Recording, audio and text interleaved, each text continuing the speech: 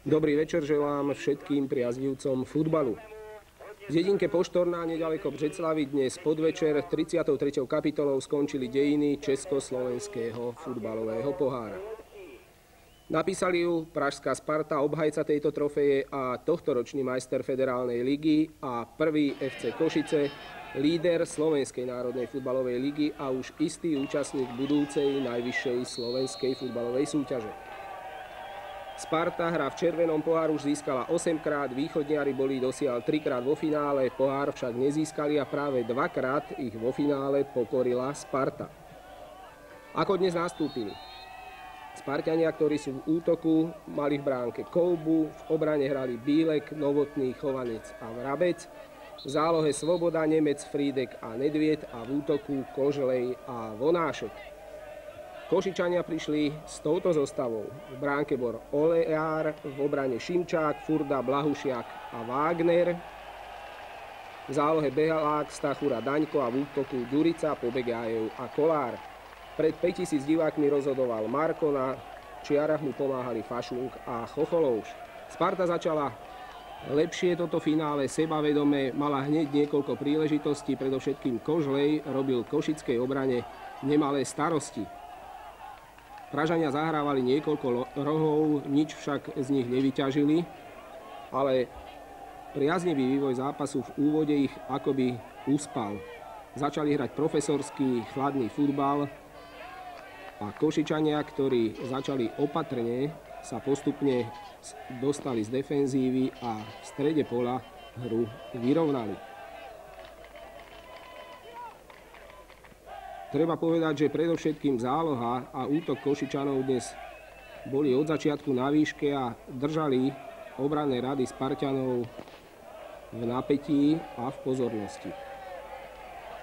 Rozhodca Marko dnes pískal svoj posledný vrcholný futbalový zápas a odchádza do rozhodcovského dôchodku.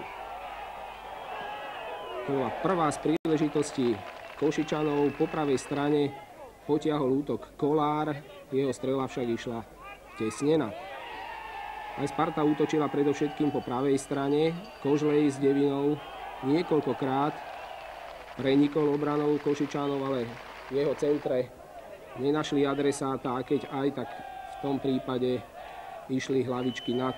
Videli ste, že Nedviet netrafil z dobrej pozície brán. Špilmacher Košičanov Daňko má číslo 9 a s osmičkou Kolár znamenali najväčšie nebezpečenstvo pre spartianskú obranu, dokázali loptu podržať, zbaviť sa protihráča aj na malom priestore, vypýtať si faul a zo štandardných situácií ohrozovať spartianskú bránu. Daňko, jeho skvelá lopta do 16 a po tomto zákroku bránkára Koubu bola jedenástka. Bola to veľmi komplikovaná situácia, ťažko bolo posúdiť, či faul bol alebo nebol. Rozhodca Marko zapískal a kapitán Košičanov Daňko bezpečne jedenástku premenil. Bežala 10. minúta zápasu a Košičania prekvapujúco viedli 1-0. Brankár Koubaj, keď vystihol smer lopty, nemal šancu zasiahnuť, lopta bola umiestnená dostatočne tvrdá. Spartanov však gol nevyviedol veľmi z rytmu, hrali naďalej svoju hru, niekoľkokrát opäť zautočili, ale nevideli, nevideli v priebehu zápasu žiadny veľký problém. Z ľavej strany Wagner skvele zautočil, vystrelil, Kouba jeho strelu vyrazil, Belákovú dorážku takisto. Prišiel roh, po ňom Skrumáš a Pobegájev našiel spulinku v spartianskej obrane. Treba povedať, že prestarnutá spartianská obrana dnes stála na hlinených nohách, bránila v podstate tieňovo, nešla do lopty ani do hráča a Košičania si chvíľami robili, čo chceli. 2-0, to už bolo hrozivé. Bežala 17. minúta zápasu. Spartianskí fanúškovia na štadióne podgurážení značne prišli na štadión, v týchto chvíľach stíchli.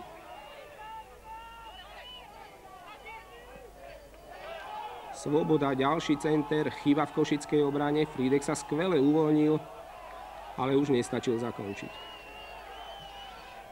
Východniari v týchto fázach zápasu podnikali veľmi nebezpečné útoky, ako v tomto prípade Daňko. Ošemetnej situácii tento raz rozhodca Marko neodpískal jedenástku, hoci vracajúci sa Nemec si tam veru rukami pomáhal v tej 16. Bola to akoby kompenzácia za predchádzajúcu jedenástku a rozhodca Marko od tejto chvíle zápas trošku pustil z rúk.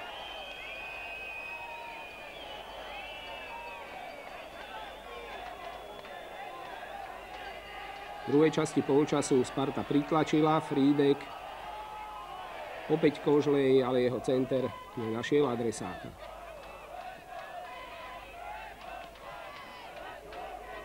Predseda Sparty Mach, ktorý bol na tribúne v týchto fázach zápasu, zbehol k lavičke, sám tam burcoval hráčov, nakoniec i trénerov. Nebolo to zatiaľ nič platné a Košičania skvelým výkonom, organizovanou hrou a vynikajúcimi kontrami získavali čoraz viac na svoju stranu aj divákov. Nemec na ihrisku sa postupne strácal. Svoboda. Opäť Nemec z pravej strany. Bola to veľmi dobrá akcia. Center a Vonášek z peťky strieľa gól, ktorý ide plne na vrúb brankára Olejára. Tento obrovitý brankár si nechal hlavou od nevysokého vonáška streliť gól z malého vápna. Takáto chyba by sa v takomto zápase stávať nemala. Pozrime sa ešte raz. Bola to fatálna chyba brankára Olejára. Zdalo sa, že Sparta prevezme opraty do svojich rúk. Opäť Kožlej po pravej strane. Skvelé prenika, neodstavili ho dvaja obrancovia Košic a po tomto zákroku si Spartania pýtali 11. Samozrejme, faul bol pred 16.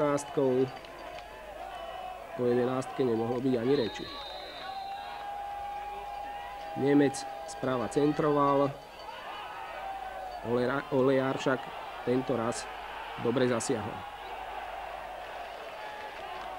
Košický brankár nemal veľa práce, bol však trošku neistý pri vysokých loptách a raz sa to východniarom vypomstilo.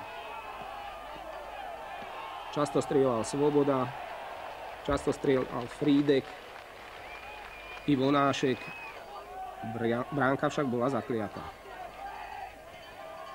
Sparta vyvinula v závere polčasu pomerne veľký tlak, snažila sa vyrovnať ešte v prvej 45 minútovke, ale mohla na to Sakramensky doplatiť. Rýchle kontry, predovšetkým Kolára, tie pri lopte, jej robili veľké starosti. Tu si trošku krídlo prvého FC Košice pýtalo jedenástku, ale na to rozhodca Marko neskočil. Svoboda po pravej strane.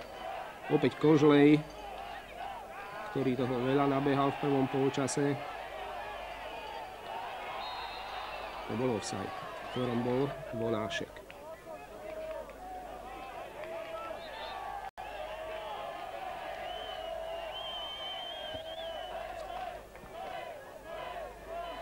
To bola vynikajúca príležitosť Košičanov, ich útočník Pobegájev sa ukázal byť vynikajúcim hlavičkárom niekoľkokrát. Takto hlavičkoval tesne vedľa. Ďalšia šanca Kožleja nevyužitá. Opäť to boli Košičania, ktorí v týchto fázach už naťahovali čas. Držali loptu. aby do kabín odchádzali s náskokom. Vrabec, medvied,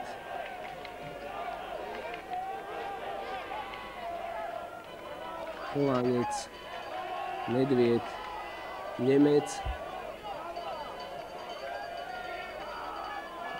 Vrabec, Sparta sa tlačila pre 16 Košičanov. Neúspešne. Kozovca Marko v týchto fázach púšťal hru. Viacero faulov nepotrestal, ktoré potrestať mala. Prichádzalo potom ku kontraverzia medzi hráčmi, medzi rozhodcom a hráčmi a tri žlté karty nezodpovedali tomu, čo sa na ihrisku dialo. Silná zbran z party trestnej kopy dnes veľmi nevychádzala, Chovanec neprestrelil múr Košičanov, nedarilo sa to ani Vrabcovi. Opäť kontra Košičanov, ktorú ťaha Kolár. Proti nemu Bílek skvele sa uvoľnil aj cez Nedvieda a len Kouba tesne pred polčasom pádom po jeho, po jeho strele zachránil a Sparta prehrávala 1-2. Ako hodnotíte prvý polčas?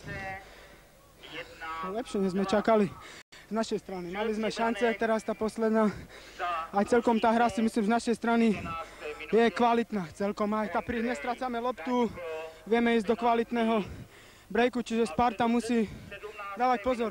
Čo ste cítili pred 11 Nič, ako vždycky. Mal som vybratý rohu dopredu.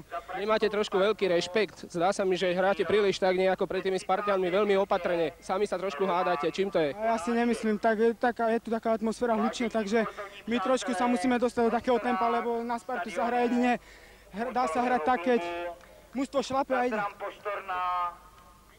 Čo hovoríte prvému polčasu? Či vás prekvapili Košice?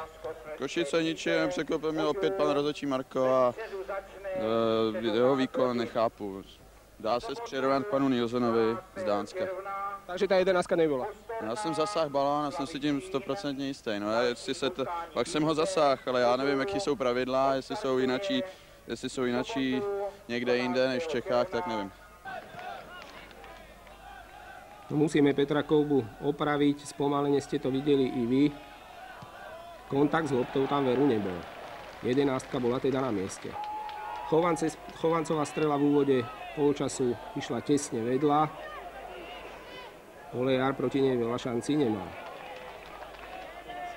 Všetci očakávali na štadióne, že Košičania sa stiahnu do defenzívy, budú brániť výsledok. Opak bol pravdou, aj keď mala Sparta viac z hry, predsa len Košičania podnikali do otvorenej obrany skvelé kontry a neustále držali Spartu, ale ich hľadiskom napätie.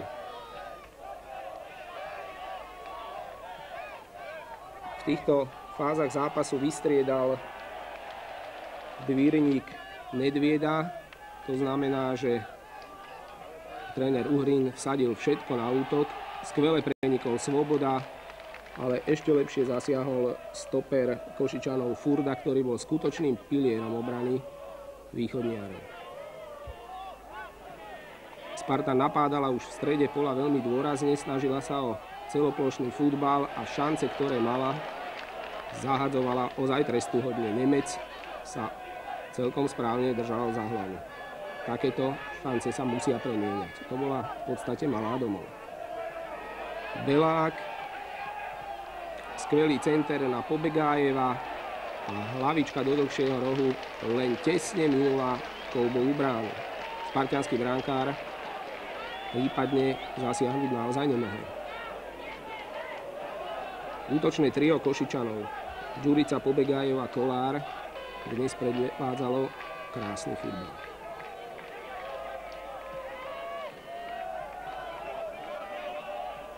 Dvírnikov pokus ako predtým strela Nemca veľmi slabý a Olejar nemal žiadne starosti.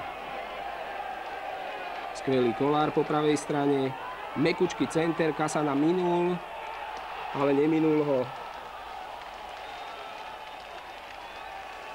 Wagner a zvýšil na 3-1. Radosť bola samozrejme obrovská. Bol to šok, ktorý Spartania len ťažko strávili. Belák skvele rozohral na nekrytého kolára, ktorý zbehol po pravej strane. Pozrel sa, vôbec jeho lopty dnes mali oči. Kasana netrafil dobre loptu. Wagner však sledoval a, dorá, a dorážal. 1-3 prehrávala Sparta a Bolo s ňou zle nedobre.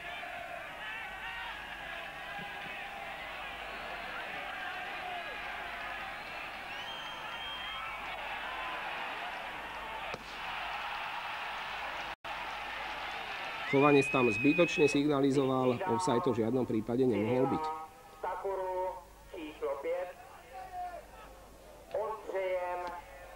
Triedna v 72. minúte 18 minút do konca zápasu už aj skalní Spartania prestali veriť vo zrad v zápase a začali sa podľa toho aj správať. Vyprovokovali niekoľko zrážok. S Košičanmi, ktorí prišli povzbudzovať, pobili sa s policajtami, bola to blamáž. Vonášek z ľavej strany, ale jeho center obrana Košičanov zarazila. A ďalšia štandardná situácia.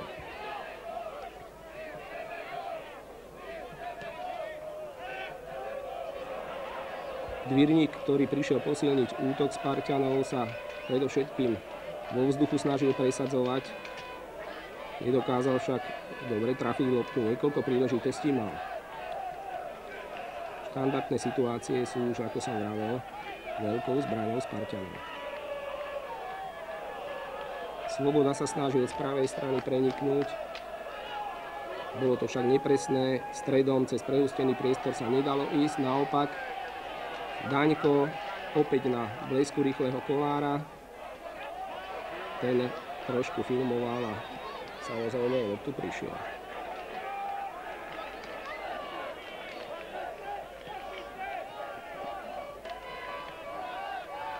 Dvíreník, Nemec, bolo to však nepresné, nervozita hrala svoju úlohu.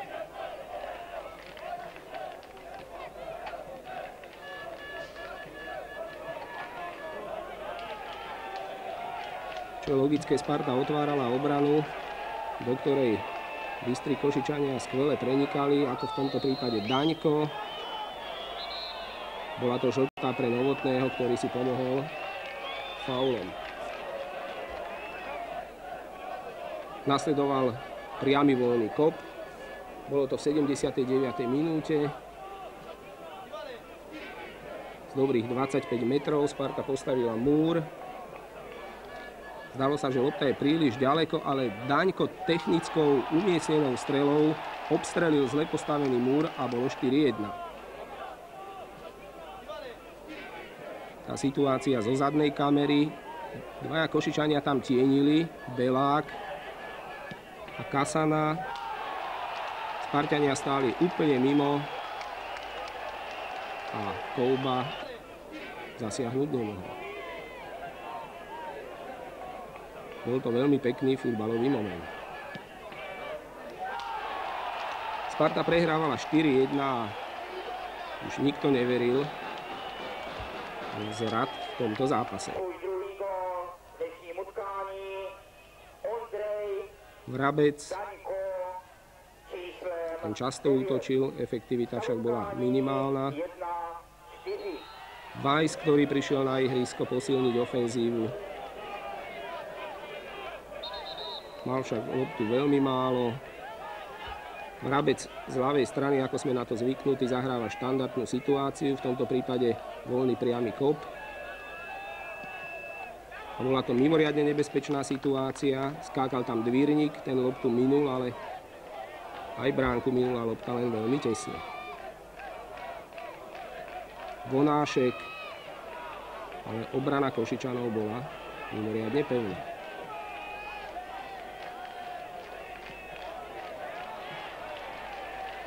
Dlhá lopta opäť na Kolára.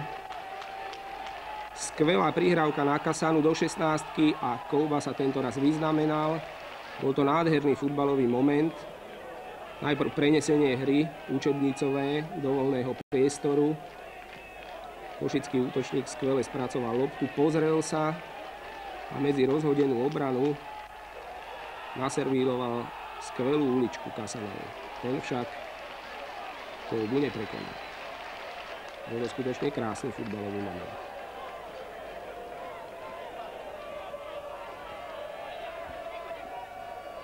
Sparta v týchto chvíľach bojovala aspoň o čestný gól. 1-4 to bolo príliš veľa pre majstra.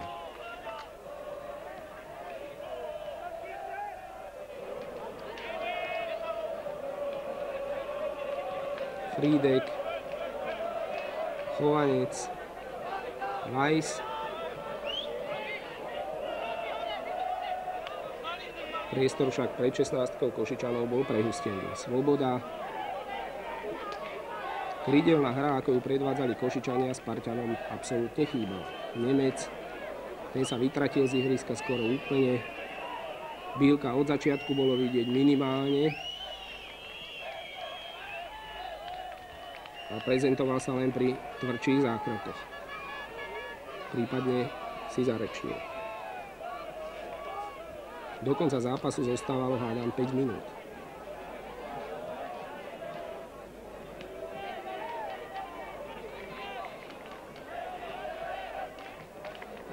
Nemec. Opäť to bolo pomalé, Spartania v rýchlosti veľmi zaostávali. V centre do 16 nenachádzali adresáta.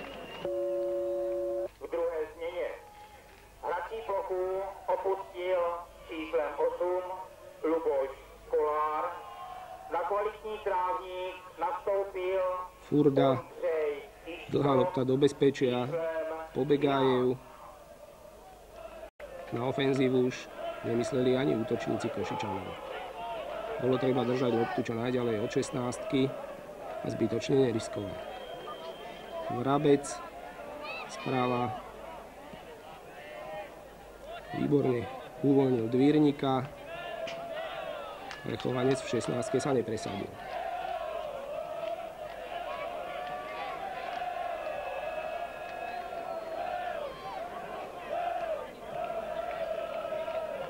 Bílek.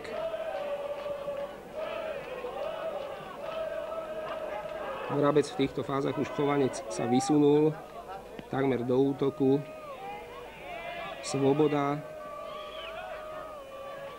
Olejar bezpečne, bez problémov.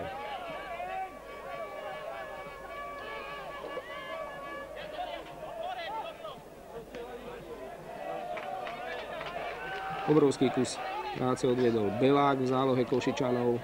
Skvelý bol, ako som vravel, Daňko, ale ťažko dnes vyzdvihovať jednotlivcov. Celý tým hral vynikajúco, bez zaváhania, bez slabých miest v zostave.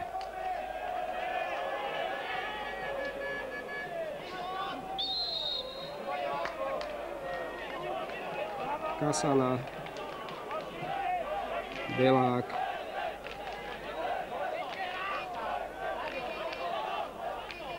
a sebavedomí Košičania si už dovolili kadečo. Rozohrávali na vlastnej polovici, čo sa často nemusí vyplatiť. Pri tomto priebehu zápasu však tesne pred koncom si to mohli dovoliť. Daňko tiež to myslel veľmi dobre. Pobegajú však nereagoval, nebežal na túto loptu, ako oba mohol pohodne nerozohrávať. Bílek Nemec. Opäť stredom a tam nemali dnes Spartania nádej na úspech.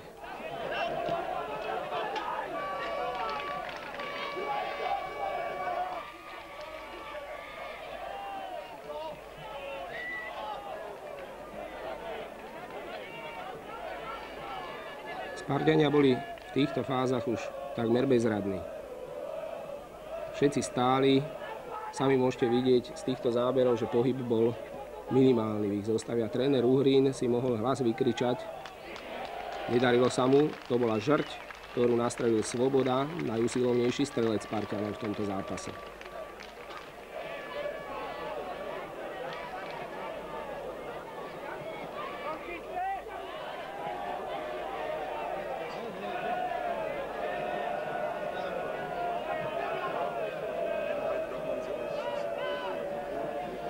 Predovšetkým gratulujem a zhodnote trošku tento veľký úspech košického futbalu.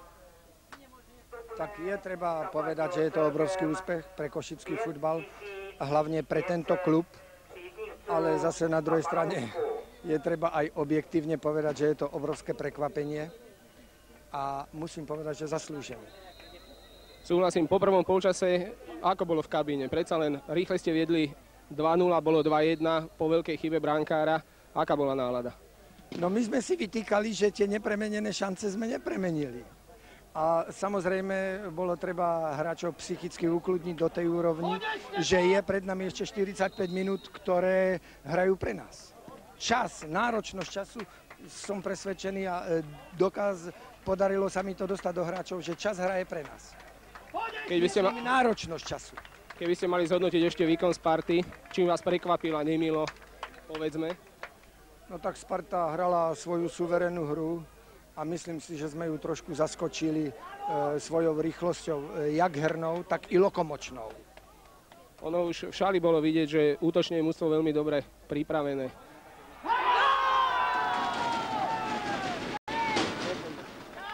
My sme trénera Záchara požiadali o tieto slova tesne pred koncom zápasu, lenže prerušila nás ďalšia skvelá futbalová chvíľa Daňko zacentroval a Pobegájev trafil hlavou po piatýkrát do kolbovej siete. Jemný center do 16 našiel hlavu Pobegájeva. Jeden z Košičanov, Sovič, tam výborne tienil a bol z toho piatý gól. Tesne pred koncom zápasu v 90. minúte. Treba s radosťou konštatovať, že toto mužstvo potrebuje toľko psychiky, aby vedelo, čo vie a aby si verilo. Samozrejme, k tomu je treba takéto ťažké zápasy. Ako vidíte účinkovanie Košic v budúcej slovenskej lige? Na záver, hádam, by sme mohli nejaké prognózy povedať. No, tak ja by som na týchto výsledkoch až tak ďaleko e, nelietal je treba udržať hladinu skromnosti a pracovitosti a keď toto bude, tak výsledky prídu.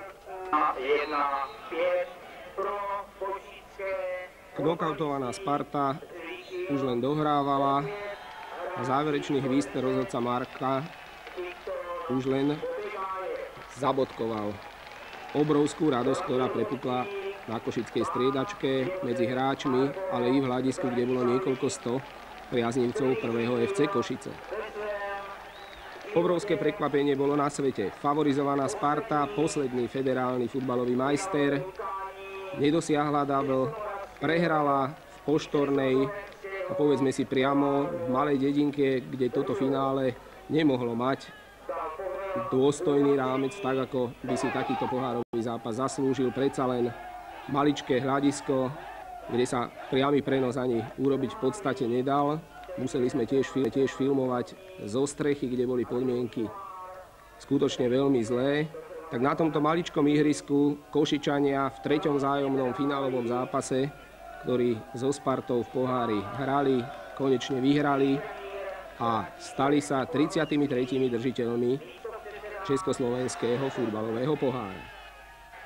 Zopakujme si teda, že za Košičanov góly strieľali v 10. a 70. minúte Daňko, v 15. a 90. Pobegajev a v 73. Wagner. Za Spartu v 30. minúte korigoval Vonášek.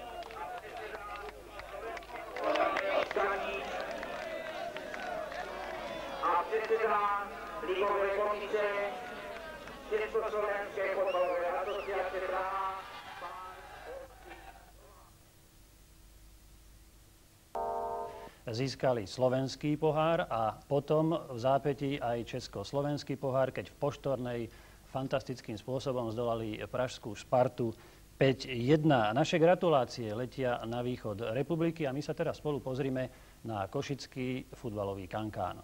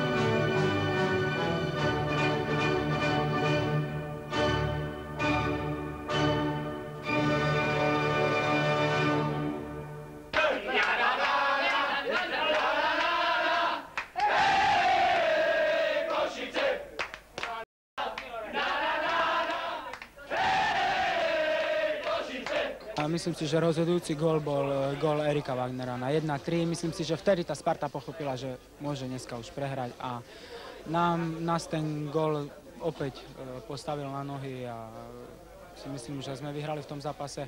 Aj keď to znie e, možno trošku tak neprirodzene, ale ja si myslím, že úplne zaslúžene tento zápas sme dotiahli ako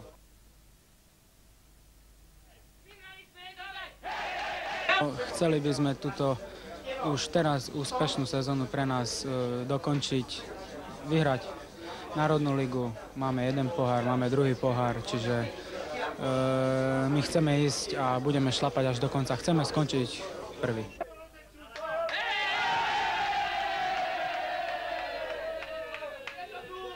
Ja by som to hodnotil tak, aj keď máme tie veľké úspechy za sebou v finále Slovenského pohára, Československého pohára, že sme zatiaľ ešte na pol ceste. Najviac o to sa pričinil náš hlavný sponzor, VŽ, na čele s prezidentom akciovej spoločnosti, ktorý je náš najväčším fandom. Ďalej, realizačný tím, na mústve vidieť rukopis pána Zachara, no a trošku aj my, správna rada, sme, predpokladám, že sme prispeli k tomu. A potom, jasné, že hlavní aktéri, to sú naši hráči, to je náš najväčší kapitál my nejaké obrovské oči alebo nejaké mm, veľké vyhlásenia, že urobíme to a to, to si myslím, že e, zatiaľ nám to neprináleží ísť nejakým takýmto štýlom bubnom na zajace. Myslím si, že tak ako sme išli do tých e, finálových zápasov, odovzdať maximum a chcieť hrať.